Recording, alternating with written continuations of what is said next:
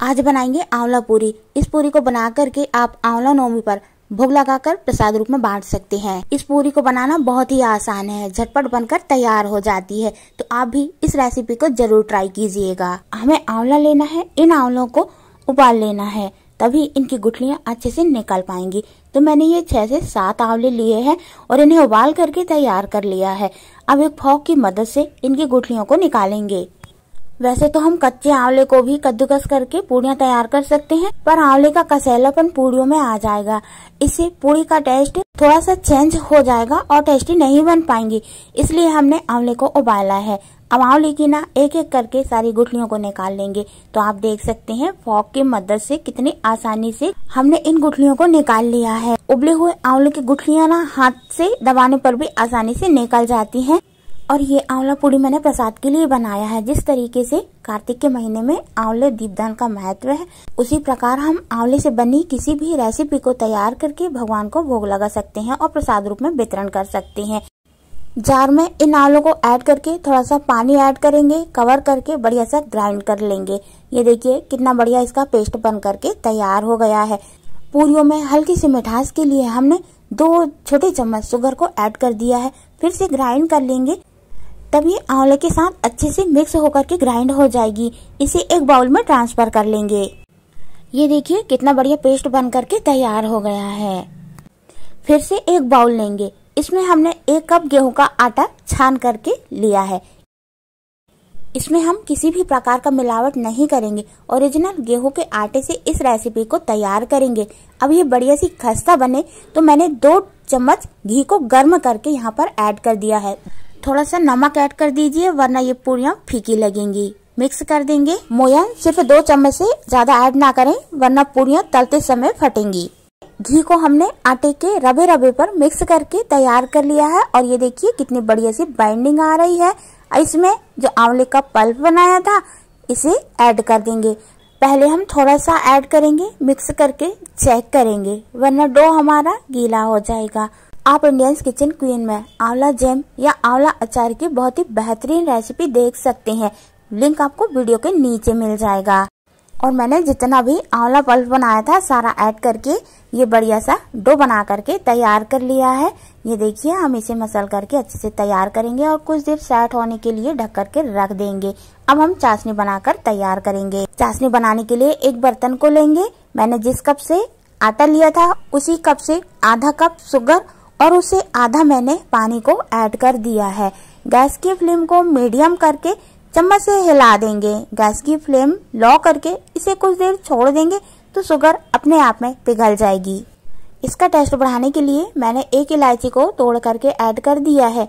आप कोई भी एसेंस यूज़ कर सकते हैं।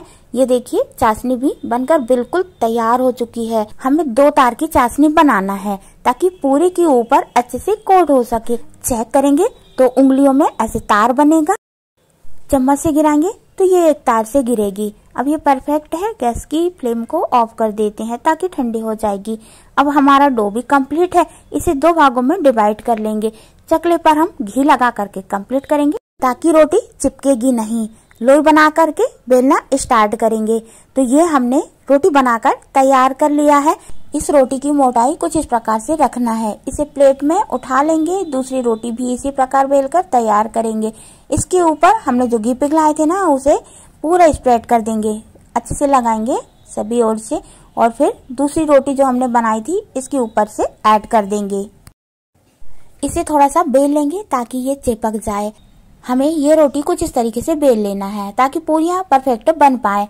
फॉक की मदद से निशान बना देंगे, ताकि ये बहुत ज़्यादा ना फूले अब हमने पूरी का परफेक्ट शेप देने के लिए एक छोटी ग्लास का इस्तेमाल किया है। तो आप देख सकते हैं कि उतनी बड़ी रोटी से छह पूड़ियाँ बन करके तैयार हो चुकी हैं। अब जो एक्स्ट्रा आटा है ना, उसे निकाल लेंगे और उससे भी हम पूड़ियाँ बना करके तैयार करेंगे।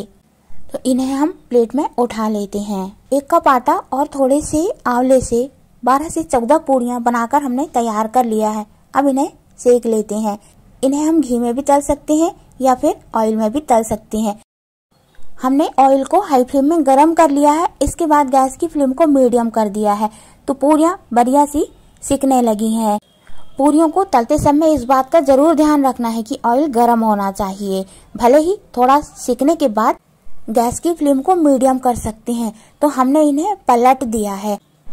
पूरियों में बढ़िया सा कलर नहीं आया है, थोड़ा सा लाइट कलर है, अभी इन्हें और सेकना है। तो हमने फिर से पलट दिया है, अब गैस की फ्लेम को मीडियम कर दिया है। दो मिनट और सेकना है, तब इनका बढ़िया सा कलर आ जाएगा। ये परफेक्ट पूरियाँ हैं, इन्हें हम प्लेट में निकाल लेंगे। बाकी जो बची हुई पूरियाँ हैं सेम इसी प्रोसेस से सेक कर तैयार करेंगे। तो हमने इन्हें भी ऐड कर दिया है, इन्हें भी तलकर निकाल लेंगे। तो हमने सभी पूरियाँ तल लिया है।